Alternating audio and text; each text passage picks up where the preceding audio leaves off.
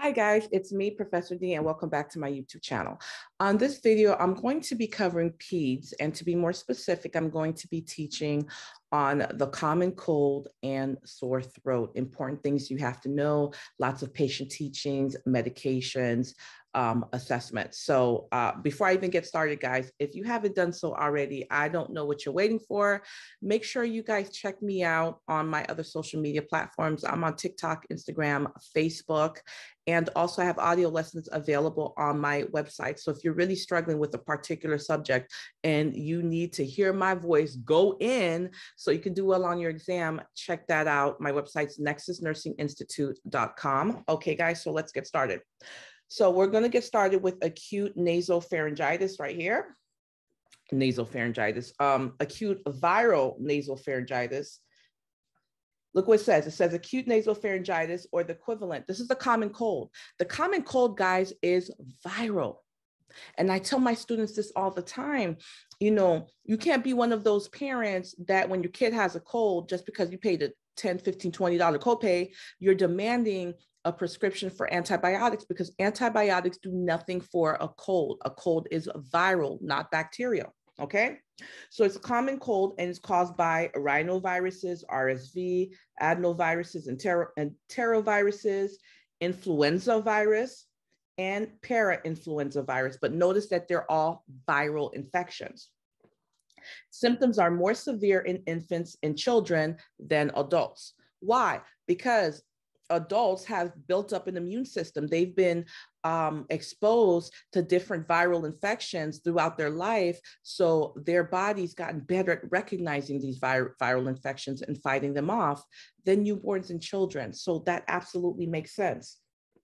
Now, um, box 4, 40.3, this is this box below. It just goes over those clinical signs and symptoms of the nasal pharyngitis. Pharyngitis. I'm going to be going over them anyway, so you guys can take a look at the box, but I'm not going to go over that with you because I'm going to be covering it anyhow. So let's go to therapeutic management for the common cold. Look at what it says. Children with nasal pharyngitis, remember, this is just a common cold, they're managed at home. There is no specific treatment and effective vaccines are not available. There's no vaccine for the common cold and there's no cure. What we do, guys, is treat the symptoms. So if the patient has a runny nose, we'll treat that runny nose. If they have a cough, we'll treat the cough, a fever. Will so we treat the symptoms that accompany that viral infection, but there is no cure. And what I wrote down here, I wrote it's a virus. So we treat how? Symptomatically, we treat the symptoms.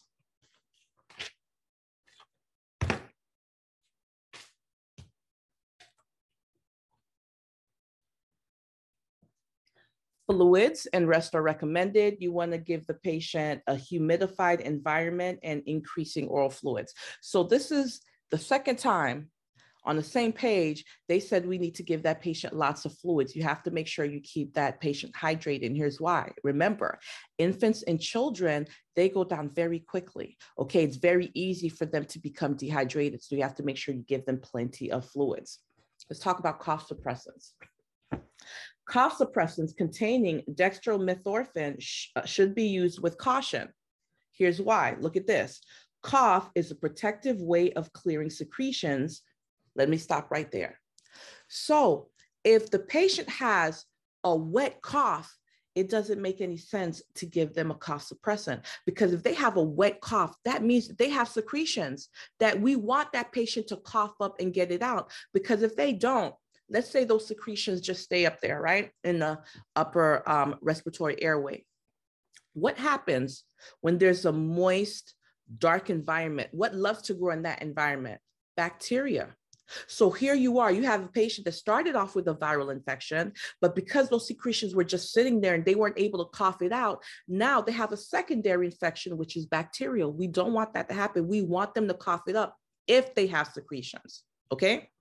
If they don't have secretions, then if the doctor orders a cough um, suppressant, we'll go ahead and give it as ordered. But if that cough is wet, are you just going to be a robot and give that medication? No. You're going to call that doctor and say, hey, you know, I noticed you ordered a cough suppressant, but I was listening to the lungs. I'm listening um, um, to the airway, and I'm hearing lots of secretions that cough is wet. So let's keep going. So it says uh, cough suppressant should be used with caution, but it may be prescribed every six to eight hours for what kind of cough, guys? Dry, not wet. Dry hacking cough, especially at night. However, some preparations contain 22% alcohol and can cause adverse effects such as confusion, excitability, dizziness, nausea, and sedation. So the parent should monitor the child carefully for those adverse effects that can happen because of the alcohol that's in the medication. Let's keep going. Let me make this bigger because I can't see. Much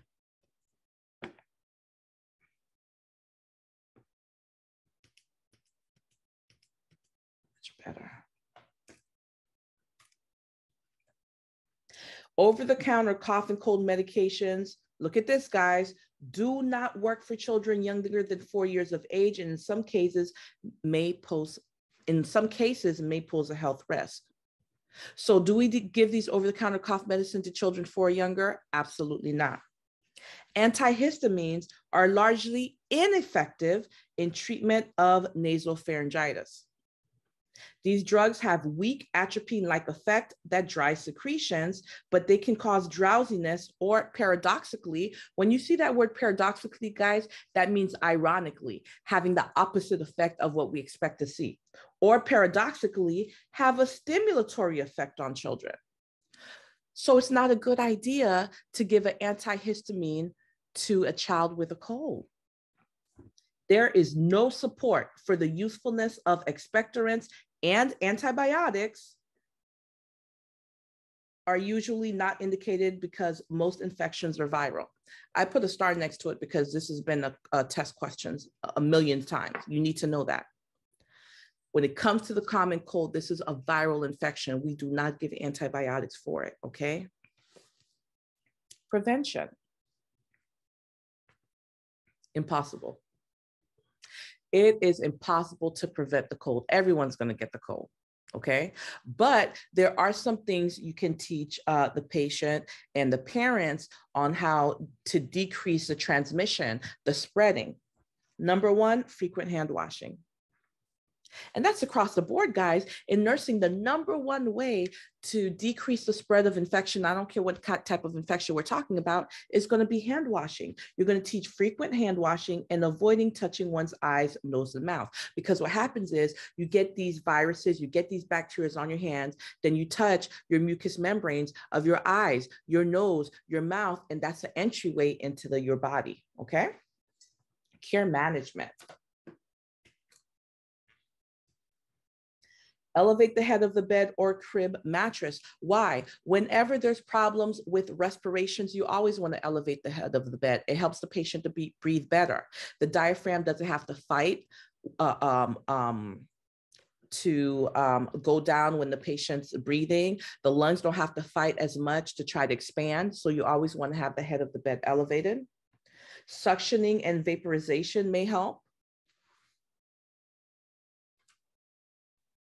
Again, this is the third time we're seeing this fluid intake, maintain adequate fluid intake. And what does it say? Is essential. Notice I highlighted that in a different color. Whenever you're studying, guys, and you're seeing in the textbook, you're seeing words such as important, vital, necessary, uh, uh, essential. Bells should be going off of your head, and you should say, you know what, this is really important. This probably won't be a test question. Uh, let me make sure I know this. Okay. You're going to offer appropriate, just like the fourth or fifth time, appropriate what? Fluids. Why? You want to prevent dehydration. Remember, children are at high risk for becoming dehydrated. Avoid contact with affected people. When they're sick, this is not the time that they need to be going out to concerts or in crowds or around people, okay?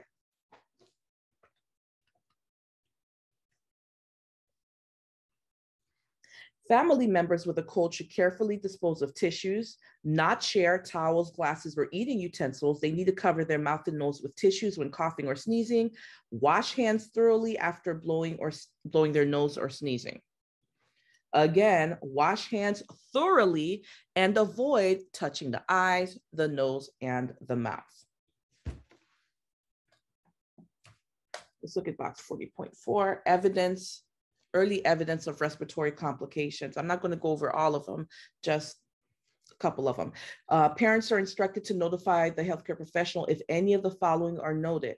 Evidence of an earache, such as the patient doing this, tugging on the ear, being, being irritable, having a fever. Respirations faster than 50 to 60 breaths per minute, having a temperature 101 or higher, wheezing, confusion, refusing to eat. Did you guys know that eating is work? when you're eating, the work of eating can take oxygen away from you, especially if you're sick, you have an upper respiratory infection. So that absolutely is a huge bell that needs to be going off for evidence of respiratory uh, complications. Okay. So make sure you guys take a look at that.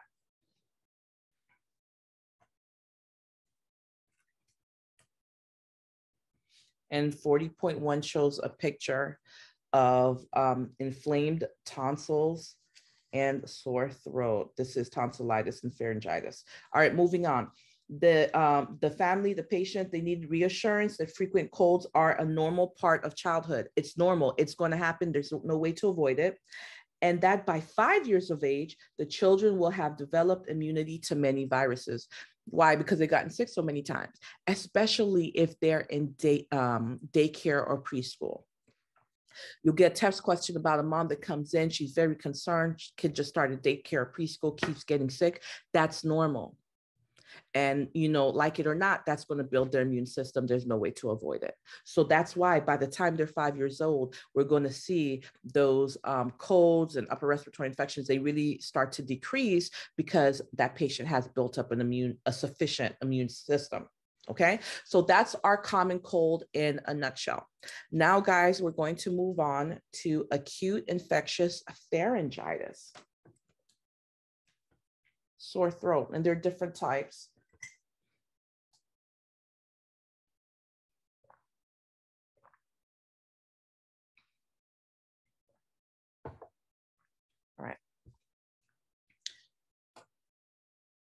Acute pharyngitis can be caused by many bacteria or viruses. So when the patient has a sore throat, unless you swab their throat and test it, we won't know for sure if it's bacterial or if it's viral. GABHS, I hate when they do that. GABHS. All right, we're talking about, okay. So this stands for group A beta hemolytic, group A beta hemolytic streptococcus infection. That's a bacterial infection, by the way, okay? So group A beta hemolytic strep infection is the most common causative organism for this infection. So when the patient, especially when it's children, they have a sore throat, the most common source of that sore throat is gonna be strep. Group A beta hemolytic streptococcus, streptococcal infection, okay? Children who experience GABHS infection of the upper airway. That's what's known as strep throat because that S stands for streptococcus. Okay. Strep throat. Look at this, guys. You have to know this. I promise if you're in PEDS, it's going to be a test question. If you have um, end of semester exam in PEDS, it's going to be on your test. It's showed up on NCLEX lots of times. You have to know this. Look at what it says. Children who experience GABH infection of the upper, upper airway, strep throat, are at risk for rheumatic fever, an inflammatory disease of the heart, joints, and CNS and acute glomerulonephritis. So it can affect not only the heart by causing that um, rheumatic fever, it also can affect the joints and the kidneys. This looks like a beautiful select all that applies to me, so you better know it, I promise. All right. Permanent damage can result from the sequelae, especially rheumatic fever. GABHS may also cause skin manifestations, including impetigo and pyoderma. Let me stop right there. So here's what happens. Um, patient has a sore throat, right? And the parents like, oh, you're just fine. They don't want to pay that copay, whatever. They don't take the kid into the pediatrician's office. And unfortunately, it wasn't a viral infection. It was strep that never got treated with a $2 antibiotic that you can get from Publix, right? Guess what? That patient from the strep, they now make these immune complexes that lodge in the heart, in the kidneys, in the joint. And this word sequelae right here, this is like a cascade of events that happens from one event, like a domino effect. Okay. All from the strep infection that could have been wiped away with literally antibiotics for $2. So it's very important, guys. I promise you're going to see this in PEDS. If the patient has a sore throat, you have to swab their throat and test it because if it is strep throat, which by the way is the mo- most common cause of pharyngitis, right? They have to get antibiotics. Okay. They have to get gram positive antibiotics. All right. Let's look at the signs and symptoms. The onset is often abrupt, characterized by pharyngitis, that's a sore throat, headache, fever, abdominal pain. The tonsils and the pharynx become inflamed and covered with exudate. That's that um, white, sometimes even yellowing uh, uh, coating, okay? This usually appears by the second day of illness. However, streptococcal infection should be suspected in children older than two years, two years of age who have pharyngitis without exudate or nasal symptoms because it's so common. Do not take a chance and assume. You better swab them. The tongue may appear edematous and red. So it's going to be, it can appear swollen and red, looks like a strawberry tongue. And the child may have fine sandpaper rash on the trunk, axilla, elbows, groin seen in scarlet fever, which is caused by a strain of group A uh, strep. The uvula is edematous and red.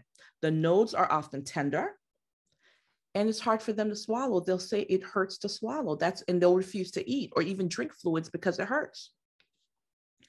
Non-suppurative complications may appear after the onset of GAB, GABHS, that's like group A hemolytics um, uh, streptococcus, AGN in about 10 days, and rheumatic fever in an average of 18 days. This is important. I don't even know why I didn't highlight it. Hold on, guys.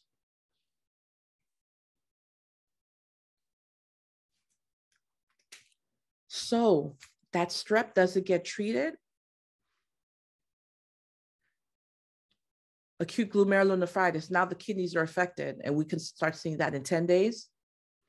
Rheumatic fever, hearts affected, joints affected, we start seeing that when in 18 days. So it's very important if it's strep, the patient gets what? Antibiotics. What type of antibiotics, Professor D? Um, gram positive.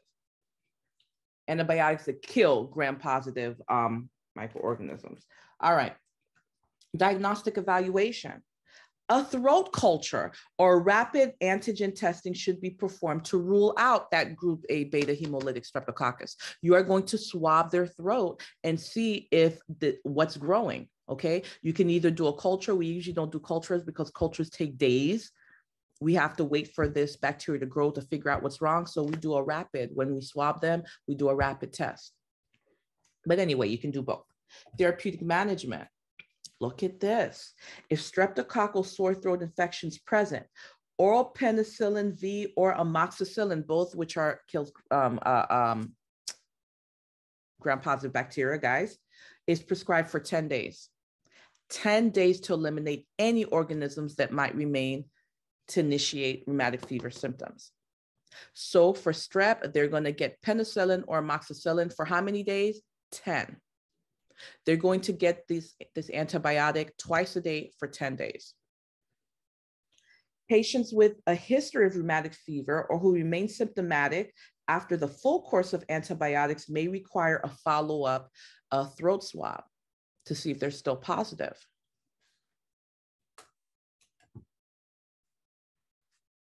An oral macrolide either erythromycin, azithromycin, clarithromycin is indicated for children who are allergic to penicillin. This is on NCLEX. You need to know this period. If a patient has to get uh, penicillin for whatever reason, but they're allergic to penicillin, they're going to get a macrolide, one of these, erythromycin, azithromycin, clarithromycin. It is on NCLEX. You have to know this. And we know that for strep, they're going to get a penicillin penicillin V or amoxicillin. But if they're allergic, they're going to get one of these. Care management. Cold or warm compresses to the neck can help provide pain relief. Warm saline goggle, goggles can also, gargles, excuse me, may offer relief of throat discomfort. So you're going to teach them to put some salt water and gargle four, six times a day. And sometimes that helps. Acetaminophen, that's a Tylenol, and ibuprofen can be effective in decreasing throat pain because they have analgesic effects. Pain may interfere with oral intake, and that's a problem because remember, children are easily dehydrated. We have to keep them hydrated, right? Pain may interfere with oral intake, and children should not be forced to eat. But fluid is what is, what's that word, guys? Essential. What, what did I tell you about the word essential or important or necessary? It is essential. We've seen this about seven times, them telling us how important it is for the children to be hydrated. Don't force them to eat, but if you have to force them to drink, yeah, force them to drink. They have to drink, okay? Cool liquids, ice chips, or flavored ice pops could be tolerated better than solid foods. If an injection of penicillin is required, it must be administered. Look how you have to give the insulin if you have to give it parentally deep into large muscle mass. You're giving it IM and it has to go deep in the vastus lateralis or the ventrogluteal muscle. Children are often considered infectious to others at the onset of symptoms and up to 24 hours after they've got antibiotic therapy. So, from the time they have those symptoms until 24 hours after they've been started on antibiotics, they can still pass it on to someone else. They're infectious. Okay. Look at this but they should not return to school or daycare until they've been taking antibiotics for a full 24 hours. Because remember, that first 24 hours of taking the antibiotics, they can still pass it on. Nurses should remind children to discard their toothbrushes and replace them with new ones after they've been taking antibiotics for 24 hours. Why? So they don't reinfect themselves. So here you are taking antibiotics, but you're brushing your teeth with the same bacteria that you're trying to kill. So you'd keep reinfecting yourself. So after you've been on those antibiotics for 24 hours, you need to be using a new teeth toothbrush. And you're going to teach the parents that for the child. Orthodontic appliances should be washed thoroughly because they may harbor the organisms.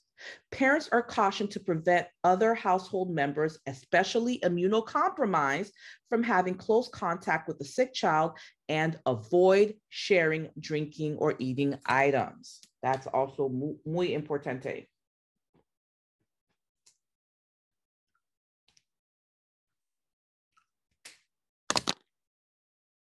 And guys, that is your common cold and your sore throat in a nutshell. So I hope you guys found this to be helpful. I'm really trying to uh, push out more lessons for you guys because the response I've gotten is overwhelming. And so um, I'm very happy that you guys are enjoying this.